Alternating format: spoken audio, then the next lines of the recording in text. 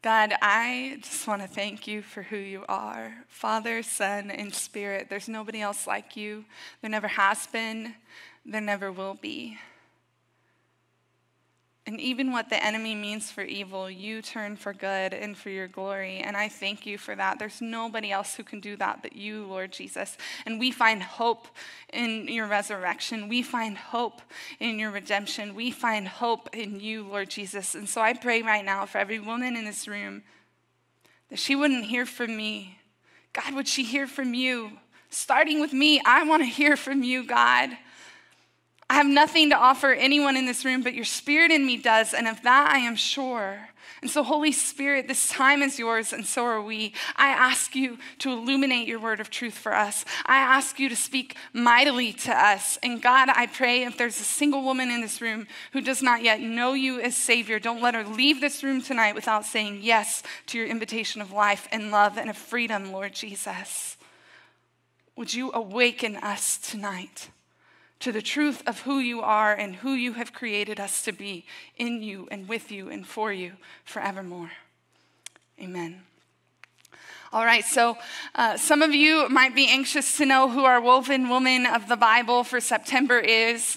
And fun fact, it is actually our woven women of the Bible for September. That's right, there are two. You're going to find our woven women of the Bible for September in Exodus chapter 1.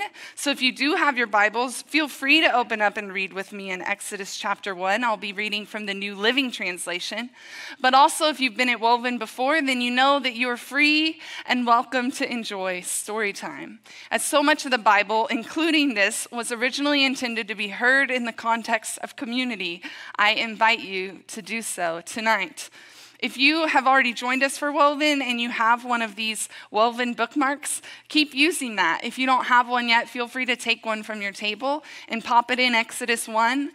And all month long, we're going to come back and come back and come back and see what the Spirit of the living God illuminates for us. So, our woven women of the Bible for September, found in Exodus chapter 1, are two women, and their names are Shiphrah and Puah. Some of you may know them, some of you may not, but I'm so thrilled to get to share their story with you tonight. So, we're going to begin in Exodus chapter 1, starting in verse 1. We're reading the whole chapter, and bear with me. These are the names of the sons of Israel, that is Jacob, who moved to Egypt with their father, each with his family Reuben, Simeon, Levi, Judah, Issachar, Zebulun, Benjamin, Dan, Naphtali, Gad, and Asher.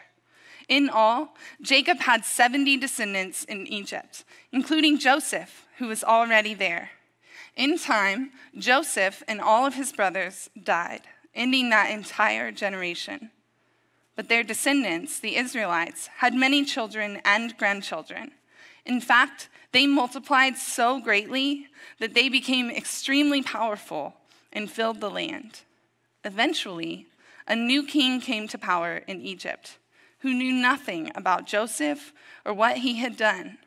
He said to his people, Look, the people of Israel now outnumber us and are stronger than we are we must make a plan to keep them from growing even more. If we don't, and if war breaks out, they will join our enemies and fight against us. Then they will escape from the country. So the Egyptians made the Israelites their slaves. They appointed brutal slave drivers over them, hoping to wear them down with crushing labor. They forced them to build the cities of Pithom and Ramses as supply centers for the king. But the more the Egyptians oppressed them, the more the Israelites multiplied and spread, and the more alarmed the Egyptians became. So the Egyptians worked the people of Israel without mercy. They made their lives bitter, forcing them to mix mortar and make bricks and do all the work in the fields. They were ruthless in all their demands. Then Pharaoh, the king of Egypt, gave this order to the Hebrew midwives, Shiphrah and Puah. When you help the Hebrew women as they give birth, watch as they deliver. If the baby is a boy, kill him. If it is a girl, let her live. But because the midwives feared God, they refused to obey the king's orders. They allowed the boys to live too. So the king of Egypt called for the midwives. Why have you done this? He demanded. Why have you allowed the boys to live? The Hebrew women are not like the Egyptian women, the midwives replied. They are more vigorous and have their babies so quickly that we cannot get there in time. So God was good to the midwives, and the Israelites continued to multiply, growing more and more powerful. And because the midwives feared God, he gave them families of their own. Then Pharaoh gave this order to all his people throw every newborn Hebrew boy into the Nile River, that you may let the girls live. This is the first chapter of the books of Exodus. Exodus comes right after Genesis, the first book of the Bible that tells us of the Genesis, the origin of God's people. We're coming right after Genesis chapter 50.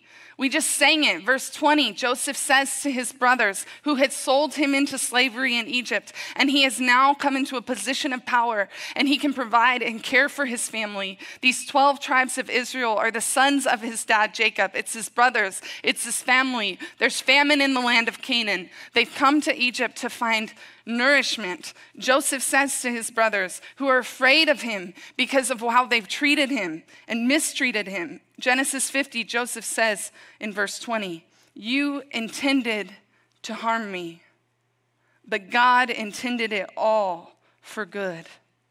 He brought me to this position so I could save the lives of many people. We've just come out of that. Exodus begins telling us that short history as a recap for us. There's 70 descendants of Jacob who are living in Egypt as foreigners, and they multiply and they multiply. And so these Hebrew midwives, Shiphrah and Puah, that you may or may not know of, I know when I talk with women about some of their heroes in the Bible, women that they look up to in scriptures, I often hear Deborah and Ruth and Esther, and praise God, they are women marked by faith in God. But so are these two women. And so many of us don't know them. And sure, they're not assigned very many verses in the scriptures but they are assigned names. We've talked about wo- women in Woven here who are not assigned names in the scriptures, but they're still named and known before God, called and sent out according to his purposes, just like you. But these women are assigned names. And do you know, this was oral tradition before it was ever written down in history to remember. This means that the people of God believed in these stories so much, they were so foundational to who they were as a people and to understanding who God is, that they passed these stories down from generation to generation to generation. And before we get to Moses in chapter 2 that everybody knows, anybody else watch The Prince of Egypt? Best soundtrack ever. Okay, back to the point. Before we get to Moses, we have Shiphrah and Puah. We have Exodus chapter 1. I'd argue we don't know that we'd have a Moses if we don't have a Shiphrah and Puah. Their story matters to God, and their story matters to the people of God. God has also put them in a position to save the lives of many people, just like Joseph, just like Moses, and dare I say, just like Jesus. And you and I today are sent out with that call to save. We're not the Savior, but we point to the one who is. And so a new, king has come to power. The king of Egypt is the Pharaoh. He's the person with the highest position of power in the land. A new king has come to power, and the scriptures say he doesn't know Joseph. Now, this doesn't mean that him and Joseph are not acquainted. I mean, Joseph had long since passed away. This means he is not familiar with who Joseph is and how Joseph rules and reigns. And he doesn't care who Joseph was kind to. So these Israelites were foreigners in the land of Egypt, and they had been looked upon favorably up until now. But a new king comes to power who doesn't know Joseph, and I'm going to say he doesn't know the God of Joseph. And that's huge. Because now these people of God, the Israelites, who the Egyptians refer to as Hebrews, they're now made slaves. And why? This king makes a decree that is hateful. First, to make them slaves, and then to declare that every newborn Hebrew baby boy needs to be murdered. He makes these decrees of hate from a position of fear. If you were here on Sunday and you got to hear our pastor Jeff preach a sermon from Galatians on finding freedom from sin, he started to talk about the fruit of the Spirit. And he started with love and the fact that the opposite of love is not hate, it's fear. That every act of hate is motivated by fear. And we see it crystal clear in the Pharaoh right here. As he says, these people are growing too much. If a war breaks out, they're going to join our enemies and fight against us and move out. We've got to take them out. That's a plan straight from the pit of hell. And the enemy still works the same way today. I'm here to tell you, and I might say it again if you follow Jesus and you don't think the enemy wants to take you out, you are gravely mistaken. But we have hope in the God Almighty who we're reading about today. I pray you know him. So he says, let's make them slaves. They treat them as brutally as they can, but they continue to multiply and spread. Let me tell you this wherever there is persecution, the church grows. It's the nature of our faith. Look at the life of Jesus, who was murdered on our behalf, and we're still talking about him today. All of Jesus' closest followers, his 12 disciples, disciples, nearly all of them were martyred for their faith. Judas died by suicide. If you don't think the enemy had a role in that, I would say otherwise. And John is the only one who is not martyred or killed, but he's exiled on an island. I'm here to tell you we have a real enemy who still wants to take us out just like then. But God had a plan that no one and nothing could stand in the way of. They oppressed him, but they kept growing stronger. Meanwhile, Pharaoh keeps being afraid. And what is he afraid of? He's afraid of what he doesn't know. Isn't that interesting? If Pharaoh had just taken time to get to know them, perhaps that would result in love. But what we don't know causes us to fear and it leads us to hate. May we have ears to hear tonight that there are people in this world who we don't know and they're not like us. And as we sit in this chamber of not knowing them, our fear turns to hate. And the enemy loves that. And God grieves that. God loves for us to reach out to his people. Let me tell you that one day people from every language, people, and tribe will be standing before the throne of God in heaven, it's going to look a lot different than this room right now. Would we love the other? It starts by getting to know the other, not hating that which is different from us and those who are different with us. I think you might have seen they have a lot in common, being created in the image of God who sets eternity in all of our hearts. And so, when that's not enough, he takes it a step further. He brings in our woven women of the Bible. Shiphrah and Puah. Shiphrah means fair, Puah means splendid. They're midwives. They give their lives to help bring about life in other people. That's their calling. And what does he do? The most powerful man in the land, their king, their Pharaoh, he doesn't ask, he demands, he orders that they keep a watch on every Hebrew woman, woman delivering a baby. And if it's a boy, you kill him Hold on, what? He asks them to do something. Nope, commands them to do something that is not only against their own people, the people of God, but it is the exact opposite of what they spend their lives doing. It's the exact opposite of their calling and their purpose. There's a reason that they were living for such a time as this. God has put them in a position to save many people. Praise God that they fear Him more than Pharaoh because that's what the scriptures say. And I know that that word fear has a lot of different meanings to us in scripture and today. And yes, we often say fear is associated with honoring God and having reverence for Him, and that is so true and true of this. And I'm not about to tell you that you need to be afraid of God because you don't. He's a good Father. We can run to Him at all times and every occasion. He has nothing but love for you as His children. But I am going to say that I think a little bit of how we define fear is true in this. because the Pharaoh is commanding something of them. My goodness, he could put them to death if he wanted to. But instead of fearing what the Pharaoh has in mind for them, they have a healthy fear of God. God, creator of life. They're midwives, for goodness sake. They're aware of the miracle of life and birth. The author of life is God, not them.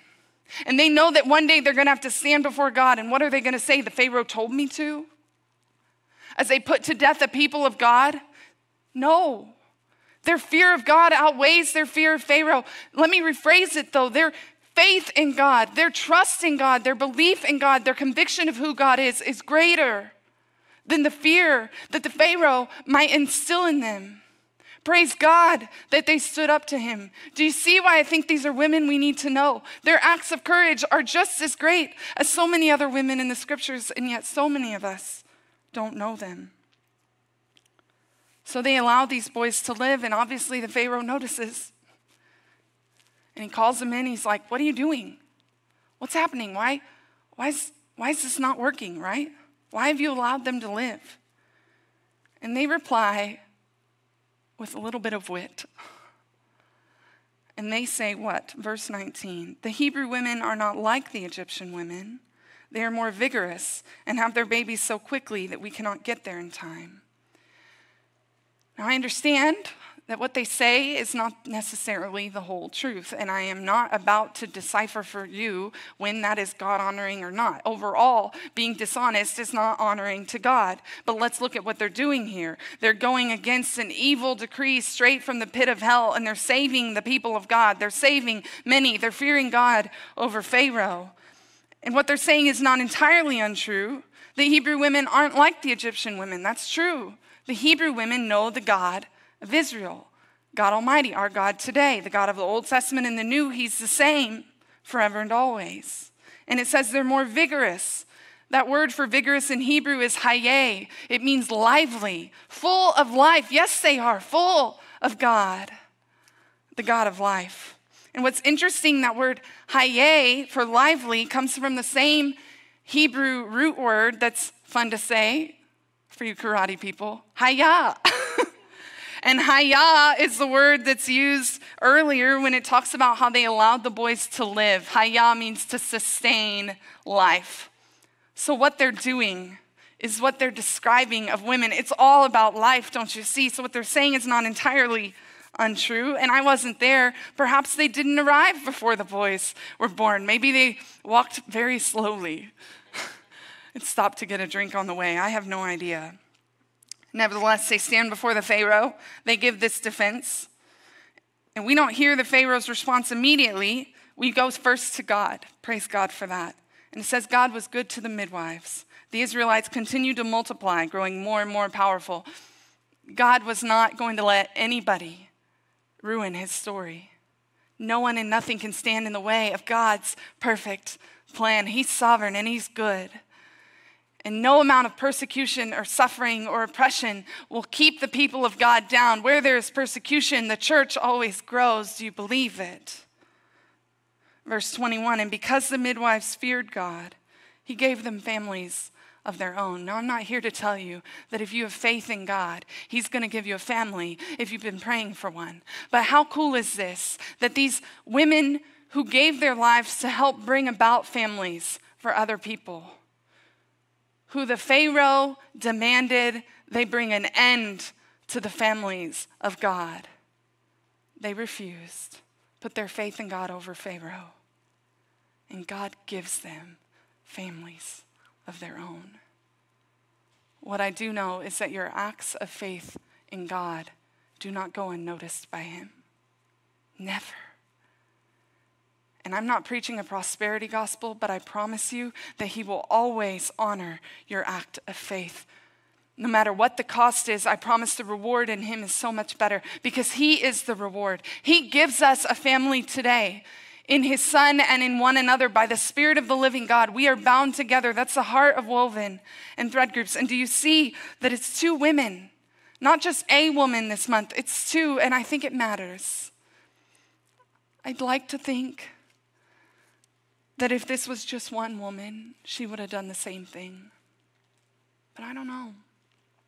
This was a very powerful man, the king of all the land, the Pharaoh of Egypt, demanding a horrific thing.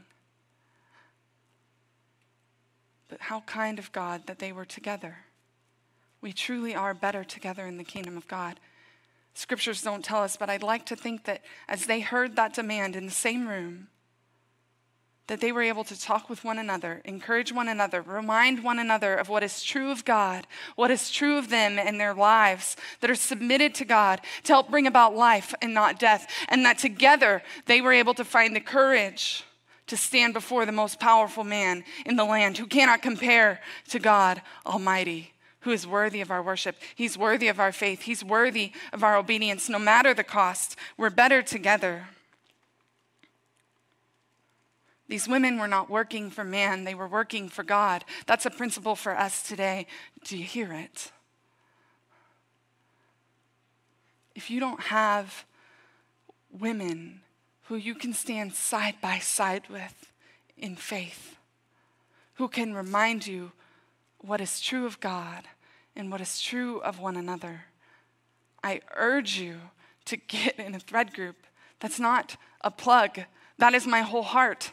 That's why we're here, because the enemy is trying to take you out still today.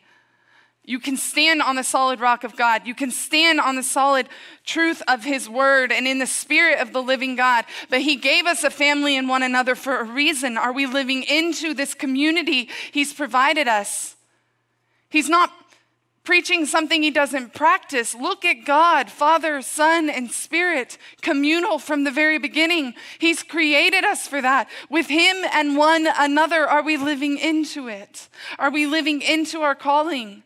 See, these women are called midwives, but dare I say, they've been called and sent out by God for a purpose. Their lives matter to God and to the people of God, and so do yours. We have a problem today of thinking that the only people called and sent out by God are people with faith based job titles, and that's a lie straight from the pit of hell, too. If you know Jesus, you are sent out by him. You are filled by the Spirit of the living God who raised Jesus from the dead, who wants to bring life through you. He raised up Joseph to save many. He rose, raised, I can't speak, but Shiphrah and Puah, he put them in a position to save the lives of many. He calls Moses, who fights it. But God called him to help set his people free to save the lives of many. He brings his own son, Jesus, to save the lives of all who will trust in him. And if you look at 1 Corinthians chapter 10, you're going to hear Paul say in 31 whether you eat, drink, or whatever you do, to it all to the glory of God. And in verse 33 in the NLT, he says, I don't just do what's best for me. I do what's best for others so that many may be saved. Friends, that is the call on your life and mine today. We are not here to do what's best for us, but what's best for others so that many may be saved. This is our heritage. We are the people of God. If you know Him, and friend, if you don't know Him, what are you waiting for? Outside of God, there is much to fear, but in Christ Jesus. There is therefore now no condemnation, and we have nothing to fear, but only a Savior to love and trust and follow. Because the truth is, you and I are still in positions where somebody is asking us to go against our own people and to do the opposite of what God has called us to. The enemy only has a few tactics. This is still one of them. And maybe it's not always somebody who's clearly in a position of power. Maybe it's someone you don't even know. You can't even identify the source. We do so much online these days. But I challenge you this month to reflect on where you have given in to those evil demands, to go against the people of God, and to do the opposite of what God has put you on earth to do. I challenge you to find encouragement in one another, to walk in the fullness and the freedom of the presence of the Lord, to walk in the fullness of your calling. There's a reason why you're living in this time, not in the 1700s, not a few hundred years from now, right now. God created you for a purpose only you can fulfill. How incredible is that? I don't know what that is, but He does. But I'm here to say you have a calling on your life by God and it matters. And I don't care if you think it's ministry or not. Do you know the word for ministry is service? The word for minister is servant. We are all servants of God if we know Him. That's what you walk into. Spoiler alert. Yes, you're children of the King of Kings, but you're also servants of God. But God has a calling on your life to help bring about His story of rescue today not just in these pages, but right now in 2022, God has people He wants to save. God has life He wants to bring where there's death and darkness, and He wants to use you to do it. Sister, will you walk in Him? Will you walk with Him? And will you do it together the way He always intended for us to do? I'm going to give you some time to talk around your tables, the same question we do every single month. And it's this how do you see your story in these women's stories? How do you see your story in Shiphrah and Puah's story? Talk around your tables for 10 minutes and I'll wrap us up.